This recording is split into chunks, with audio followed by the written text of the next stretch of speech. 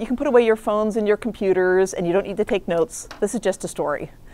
Um, it's going to foreshadow a lot of the themes in the course, um, but it's not stuff you're going to be tested on. Okay.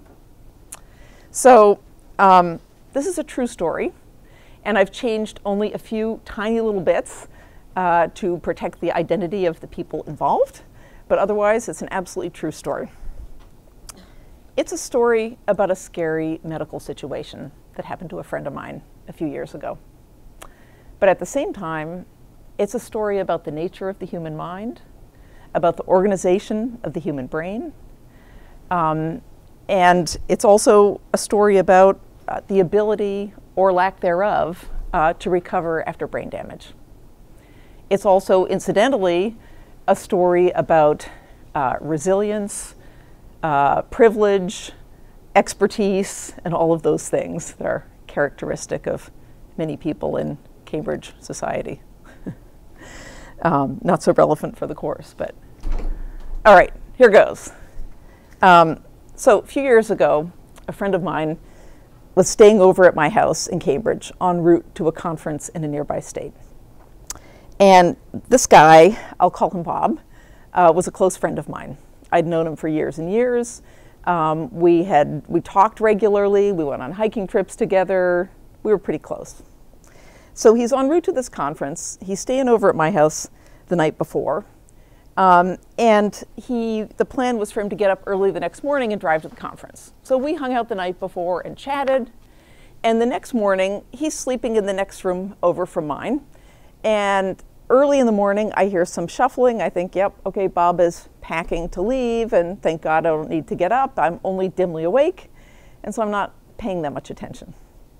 Shuffle, shuffle, shuffle in the background. And then I hear a crash. And I think, what the hell is that? And I get up and I go into the next room, and Bob is lying on the floor, not moving. I say, Bob, and there's no answer. And then I shout, Bob! And there's no answer. And then I dialed 911. While we were sitting there, waiting for the ambulance to arrive, Bob starts to wake up. And he's very woozy, but he's alive, and he's making a little bit of sense. And he can't figure out what's going on, and neither can I. And so we're talking and chatting, and he's making a little more sense but we still don't know what's happening. So then the ambulance arrives incredibly fast. It felt like three minutes. Boom. There's three EMTs rushing in the front door, rushing up to the room where Bob was. And they take all his vitals and they can't find anything wrong. And so they're really casual. I guess they confront stuff like this all the time. I don't. Bob doesn't. But they're very calm about it. And they're saying, well, you could take him to the hospital or not. And I was like, I think we need to know what just happened. Even though he seems okay, we kind of need to know what this is all about, don't you think? They're like, yeah, you could take him to the ER. And I said, well, um, do we need to waste ambulance resources or do you think it's safe if I drive him myself since there's a hospital not far away? They said, you could drive him yourself. So I drive Bob to the Mount Auburn Hospital ER, which is like less than a mile from my house. And we do the usual ER thing, which is mostly waiting and waiting and waiting. But various docs come by and they take all these tests and they take all these history questions and it goes on and on. And basically, they're just not finding anything. So after about an hour or two of this, they're still doing tests. They don't want to quite let him go yet because they don't know what happened. Everybody's calm about it. I figure, okay, fine, I got work to do. Um, and I tell Bob, um, you know, text me throughout the day and I'll come get you whenever they're ready to release you. And so um, I go into work. But just before I go into work, a thought flashes through my mind. And I say to the ER doc, you know, you should check Bob's brain.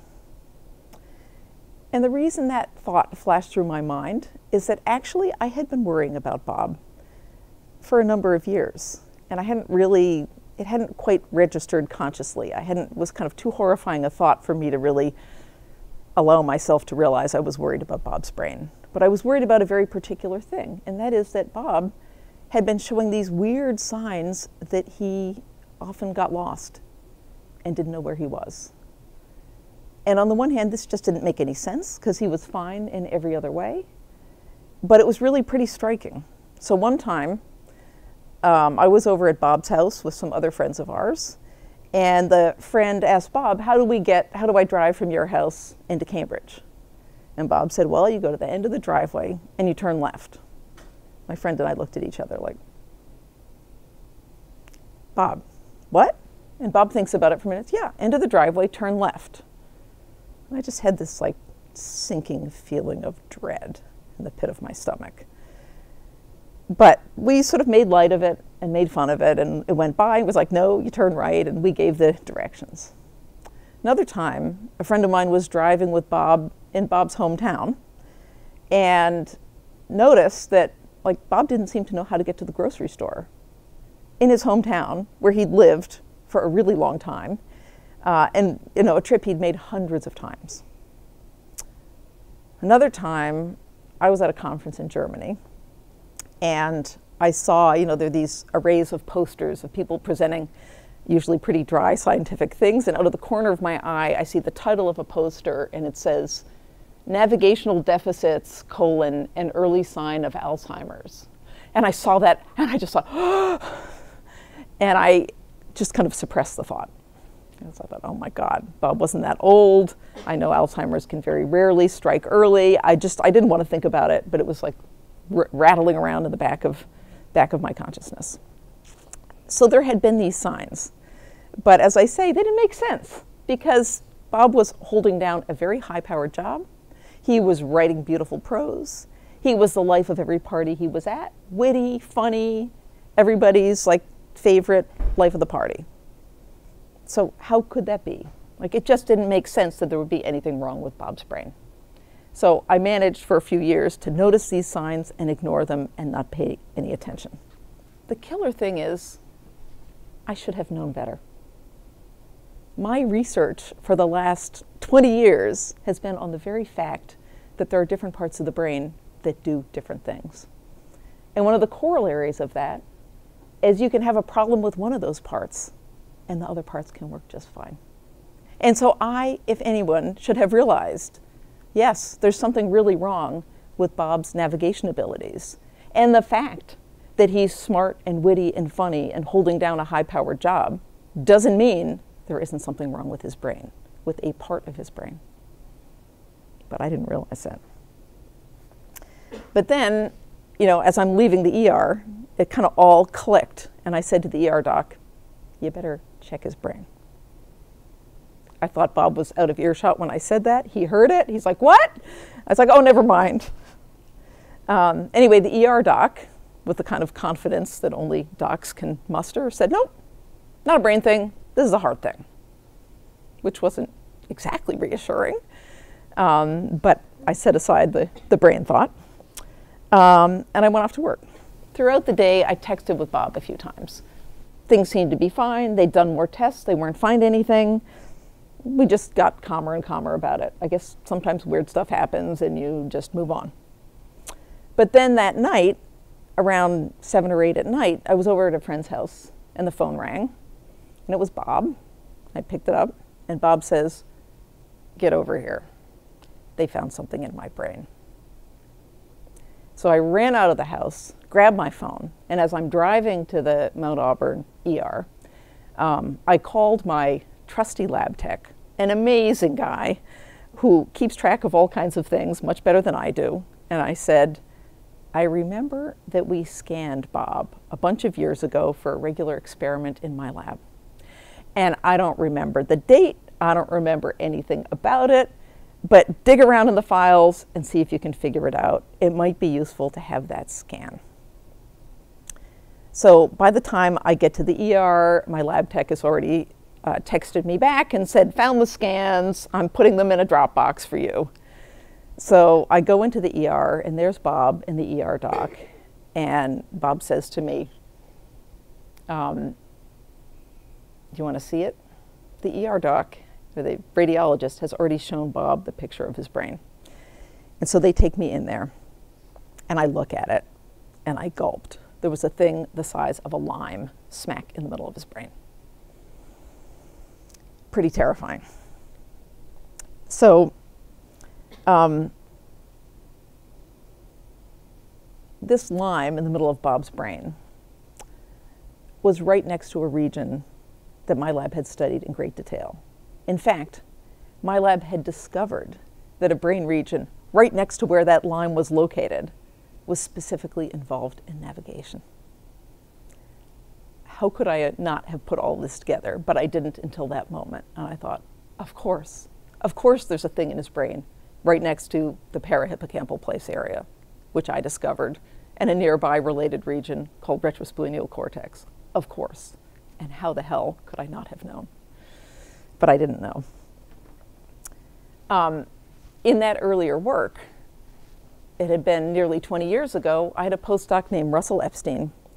And Russell was a computer vision guy, and he wanted to understand how we see by writing code to duplicate the algorithms that he thought go on in the human brain when we understand visual images.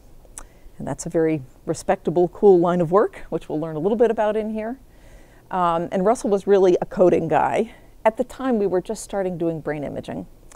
Um, but Russell was like poo pooing it all. It's like the flash in the pan, it's going to go by, it's trashy, so you guys get nice blobs on the brain. I'm not having any of it. And I kept saying, Russell, you need to get a job. Just do one experiment so you can show in your job talk that you can do brain imaging. It might help you. You don't need to do a lot of it, just do one dumb experiment. Russell was interested in how we recognize scenes, not just objects and faces and words, but how do we know where we are and how do we recognize if the scene is a city or a beach or whatever it is. I said, okay, Russell, we'll just scan people looking at pictures of scenes and looking at other kinds of pictures. And we'll just kind of see if there's any part of the brain that responds a lot to scenes. It really was not well thought out. This is not how you do, should do an experiment. It shouldn't be based on political calculations, lack of theory, any of the above. But the fact is, that's why we did that experiment. Russell needed to be able to show a brain image in his job talk, so we scanned some people looking at scenes and the results knocked our socks off. We found a part of the brain that responds very selectively when you look at images of scenes, not when you look at faces, objects, words, or pretty much anything else. And so we'll learn more about that later in the course. We called it the parahippocampal place area, and that launched a whole major line of work in my lab and now dozens of other labs around the world. So backtrack, we'd already found that region, and here's this lime in my friend Bob's brain sitting right next to the parahippocampal place area. So then I remembered, let's look at the scans from my lab from a few years ago in Bob's brain. And so I fiddled around and found, managed to download the files. And there it was. You could see that same blob. But in the scans from a few years before, it was much smaller. It was the size of a grape, right? And so that told us a bunch of things. Most importantly, it told us this thing is growing really slowly. And that was hugely important because brain tumors are very bad news, um, and they usually grow really fast. And the fact that it grew really slowly told us that this was not one of the kind of worst, most invasive, most horrible ones. It was clearly a problem, it was big, um, but at least it wasn't growing hugely fast. But how poignant that there it was in my own damn data and I hadn't seen it in my friend's brain. Well, I'm not a radiologist. I'm a basic researcher, and I didn't look and I didn't see it. Um, so indeed, the next day, the, uh, the docs told us that they thought this was meningioma, not cancer. Who knew that you could have tumors that weren't cancer, but you can. Um, and they still need to come out if they're big enough, and that's very serious, but it's not as bad as having uh, a cancer in your brain. Um, so as we're collecting information, the next day I'm hanging out in the hospital room, and there was an amusing moment when one of the residents came by and he's taking the history and asking all the basic questions. And I said, kind of sheepishly, because you don't want to seem like you know more than the residents. And in fact, I didn't really know more, but I just thought I'd provide a little information. I said, you know, he's actually had symptoms for a bunch of years, and there's a there's a region of the brain nearby that you know that I, I've actually studied a little bit. And the residents is like, we know who you are. um, so much for my, you know, trying to stay under the radar. Um, I, that afternoon, I talked to a neurosurgeon friend of mine because uh, I figured, okay, we need, we need advice, we need help.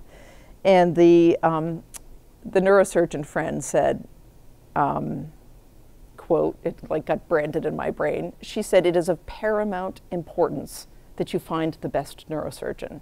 It's the difference between whether Bob dies on the table or goes on to live a normal life. So this is the privileged part of the story. I'm not that well connected, but I'm a little bit connected, and I kind of dug around and did what I could, and we spent a couple of weeks, and we found the best neurosurgeon. And uh, the night before the surgery, Bob is staying over at my house because the surgery was in a Boston hospital. And I thought, you know, I've been dancing around this for years, but now, like, it's all out in the open. We know there's a problem, and I'm going to test him. I'm going to find out what the hell's going on. Um, this is, after all, one of the basic uh, forms of data that we collect in my field. That is, testing people with problems in their brain to try to figure out what things they can do and what things they can't do. It's a way of figuring out what the basic components of the mind and brain are. It's actually the oldest, most venerable method in our field, and it's still a hugely important one. So I thought, what the hell? So I said, okay, Bob, draw me a sketch map of the floor plan of your house. And so Bob takes a few minutes and he draws this thing. And it was shocking. There weren't even, you know, the, the rooms in a kind of rectilinearly arranged house, they weren't even aligned. There was like a soup of lines. There was no organization from one room to the next. And Bob kind of realized this kind of isn't right, is it? But he didn't know how to fix it. And he said he just couldn't visualize what it looked like to be in his house, and so he couldn't draw the floor plan. And I thought, okay, he hasn't been there in a couple of days. So I gave him another piece of paper, and I said, okay, draw the floor plan of my house, where you are right now. Um, and so Bob took a couple minutes and delivered a similar mess. He couldn't even imagine the layout of the room next to him that he'd been at, been in a few minutes before. And then, trying to channel my inner neuropsychologist, I thought, okay. Gave him another piece of paper and I said, okay, Bob, a draw a bicycle. Why did I choose a bicycle? Because it's a multi part object that has a bunch of different bits that have a particular relationship to each other, just as the rooms in a house have a particular spatial relationship to each other. And I wanted to know is his problem specifically about places, or is it about any complex multi part thing that you have to remember the relationships to? Bob is no artist, to put it mildly, but his bicycle was clearly recognizable as a bicycle. It had the two wheels in the right relationship, and you know, it had all the basic parts in roughly the same, the right place. I then had him draw a lobster, another multi-part object, and also his lobster was not beautiful, but had everything in the right place. And so that's very telling. He had a specific problem in, I don't know, imagining, reproducing, remembering, it's not totally clear the arrangements of parts in a room, but not the arrangements of parts in an object. Okay, and we'll get back to that more in a few weeks. So the next day, Bob has an 11 hour surgery, major, hardcore, extreme neurosurgery. Remove a huge piece of bone from the back of your head, pull apart the hemispheres of the brain like this, go in like multiple inches and remove a lime. Like, holy crap, right? Uh, said lime was right near the vein of Galen, right? Galen lived, what, a couple thousand years ago. The fact that there's a vein of Galen means it's a big ass vein, the kind of vein that even Galen would have found with, you know, dissection 2,000 years ago. This lime was all wrapped around and interleaved with the vein of Galen. Not good. But because we found the best neurosurgeon, and because we have extreme privilege, um, and all the all the possible medical resources and expertise you could possibly hope for. Bob sailed through the surgery, and an hour after the surgery, I'm chatting with him and he's making sense. Amazing, right? And, you know, two, literally two days later, they sent him home. And a few days after that, he's back at work, no problem. Totally fine. But now we get to the question you're probably thinking about what about his navigational abilities? The sad answer is nothing doing. None of it came back at all. Uh, thank God for iPhones. If Bob lived 30 years ago, he wouldn't be able to function. But he goes everywhere using his iPhone GPS, everywhere. Um, And this fact that he didn't recover his navigational abilities is consistent with the whole literature that we'll consider later in the course. Um, that often, not always, but often, if you have brain damage, especially to some of these very specialized circuits that we'll talk about, um, you don't recover later. If the damage is early, you may well recover. Early in life, you may re- well recover. Children have much more plastic brains that can adjust after brain damage. Adults, not so good. Yeah. So, Bob's doing fine. That's my story.